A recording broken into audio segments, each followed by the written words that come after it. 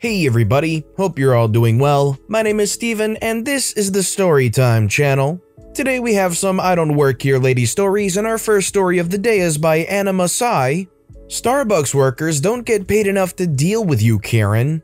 This happened yesterday at a Starbucks somewhere in the US. Obligatory I'm on mobile.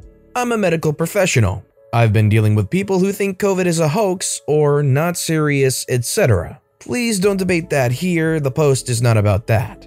I walk into Starbucks and distance myself on the little circles they have that are 6 feet away from each other. There are just a few people in the store and it's pretty big, so overall I felt safe. I'm minding my business, browsing Reddit, when this Karen walks in. I didn't notice her until I heard a barista say, Excuse me, you need a mask to be inside the store.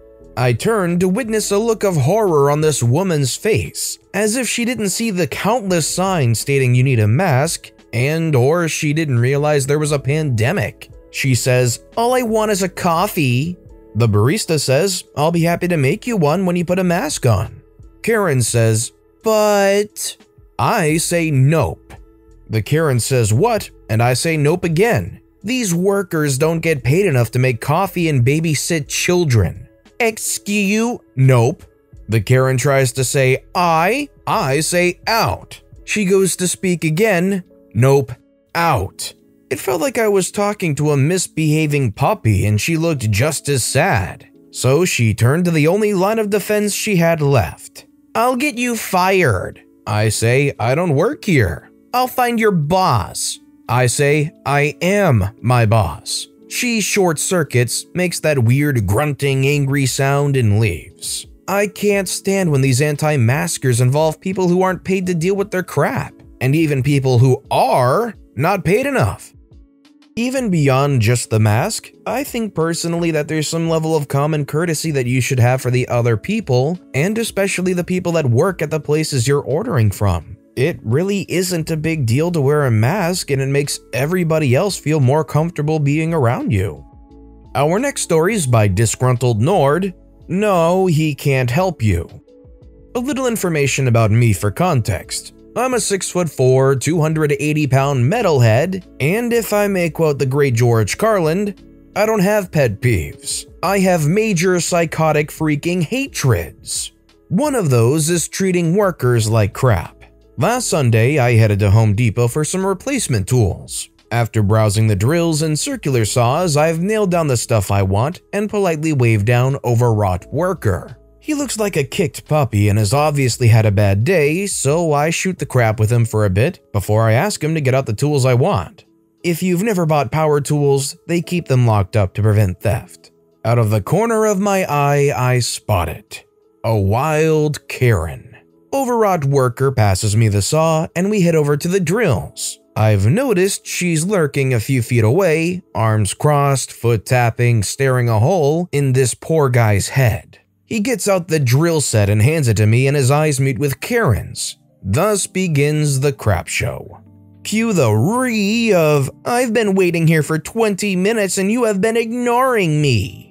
Overwrought Worker is shocked, and I've gone from chatting about carpentry and telling wiener jokes to furious. Continue the cries of this is unprofessional and this is what you call customer service. All the while, Overwrought Worker is apologizing and desperately trying to explain that he can't leave my side until I check out. See aforementioned theft. After a minute or two, she shouts, You are done helping him, looks me up and down with obvious disgust. So either you help me or you find another job. Overwrought worker has gone pale and she has a highly punchable crap eating grin. My time to shine. Ma'am, why are you being such a runt? A few moments of beautiful silence. What did you call me? Going completely red. A runt. Don't like it? Stop acting like one. Runt, said in a calm, near monotone.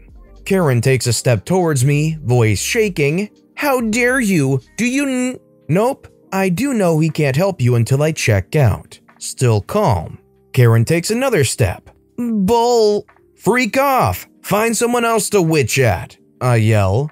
I can see the moment of realization. I've got almost a foot and 150 pounds of anger on her. So she turns on her heel and scurries away, all the while ranting to herself. I stare at her back until she turns a corner. I say, I think I have everything. The overwrought worker says thanks. I say, laughing, what a runt. The overwrought worker laughs.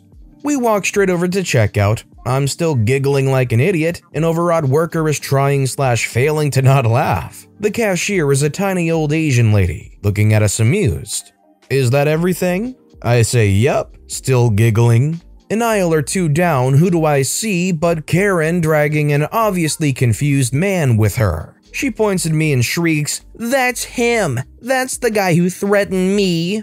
I say to the cashier, I would like the two year warranty on these. I say to the Karen, stating the obvious isn't a threat. Calm again.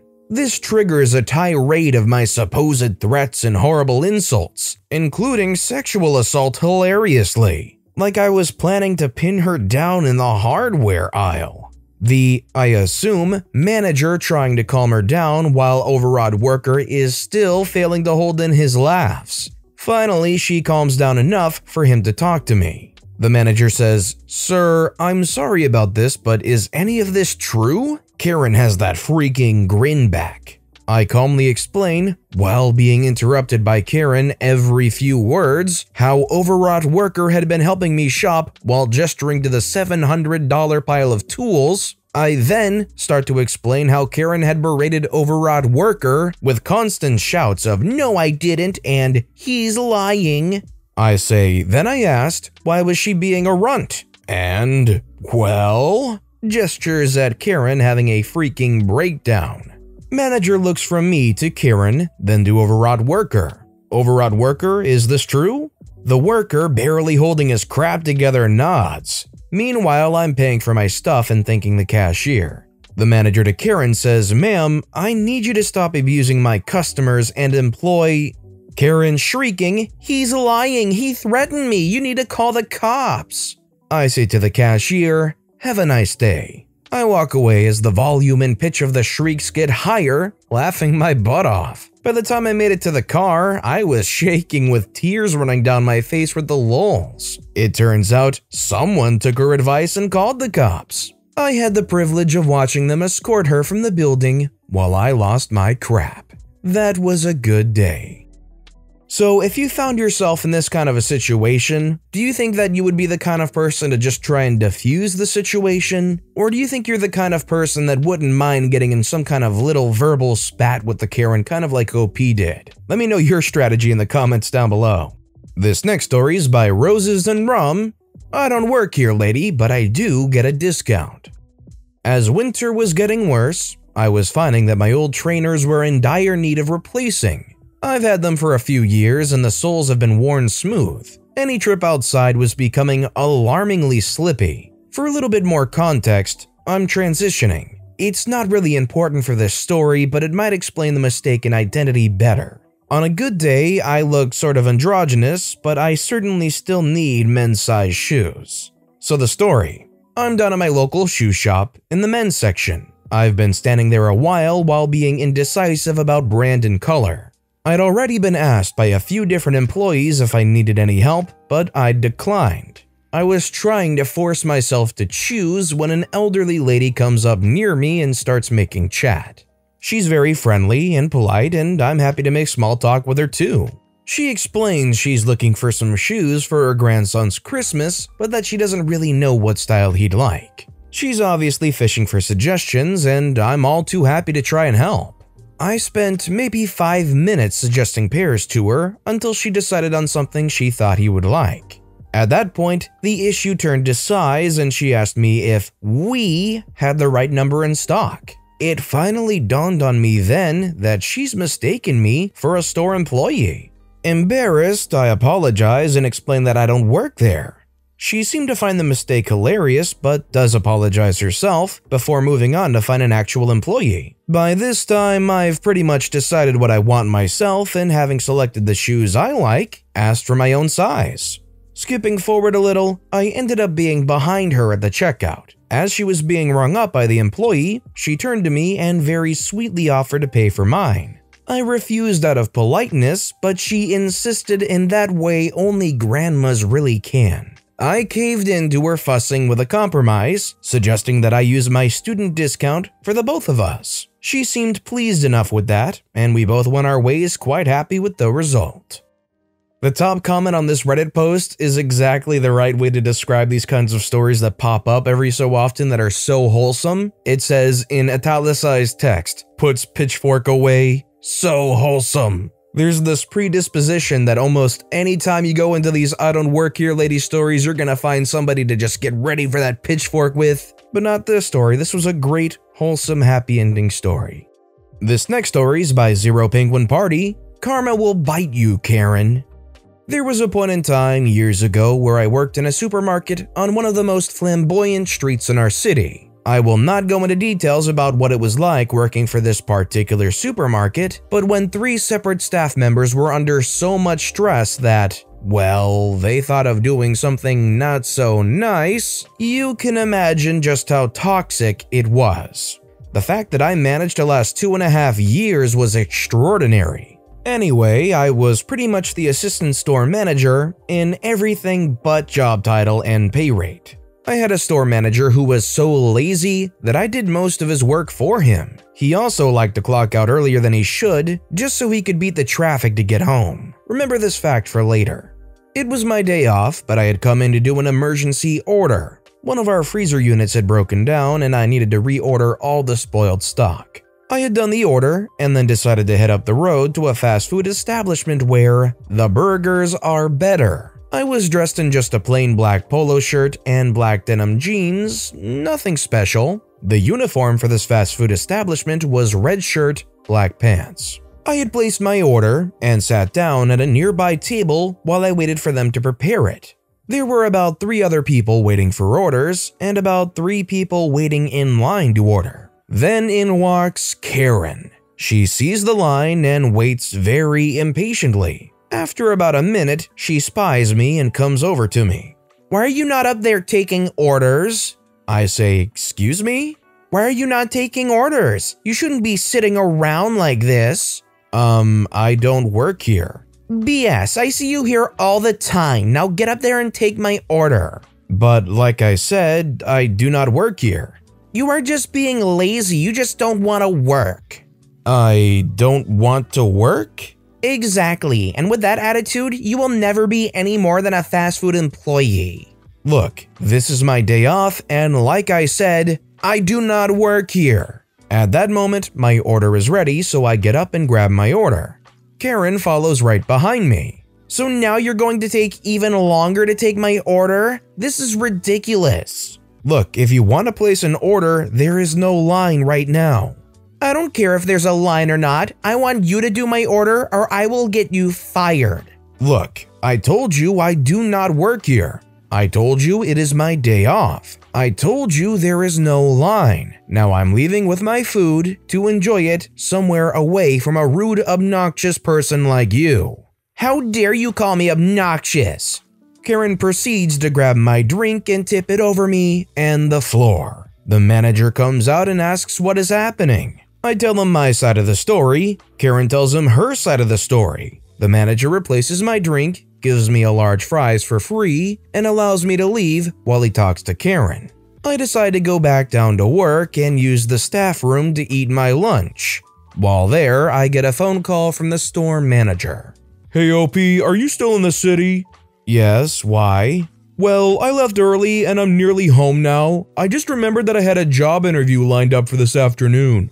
And? Well, you have experience with job interviews. Can you do it for me?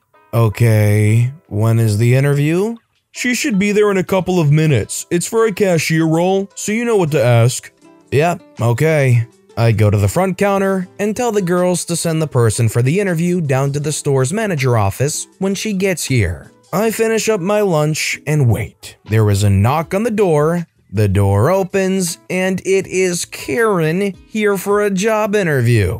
The first words out of her mouth were, I'm not going to get this job, am I? And I just shook my head.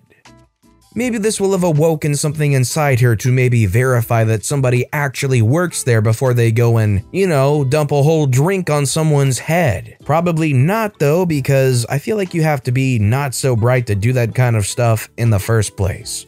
And our final story of the day is by Please Don't Refer to Me. Lady, please, I'm just trying to get cake ingredients. So this just happened an hour or so ago. My grandmother and I went out shopping to get ingredients for my birthday dinner and the cake I'm going to make. My birthday is in two weeks, but the ingredients we needed are on sale and most of them are canned, so we went to get them today. My grandma decided it would be faster if I were to take a basket and grab the cake mix and pineapple and any other mixes we needed at home, and she went to get the peas, orzo, and bacon bits. I found the pineapple cans pretty fast, so I had plenty of time to look at all the cake and brownie mixes. I had some music playing in my headphones, so I couldn't hear anything around me. While I was looking, someone tapped me on the shoulder. I assumed I was standing in their way and they needed something from the shelf I was looking at. I said, Oh, I'm sorry, and stepped aside. I saw the lady start talking, so I pulled out one of my earbuds. Can you help me find whatever item it was? I don't remember. Me, knowing where most of the items are, oh, that should be an aisle number, unless they rearrange the store. Well, aren't you going to show me where it is?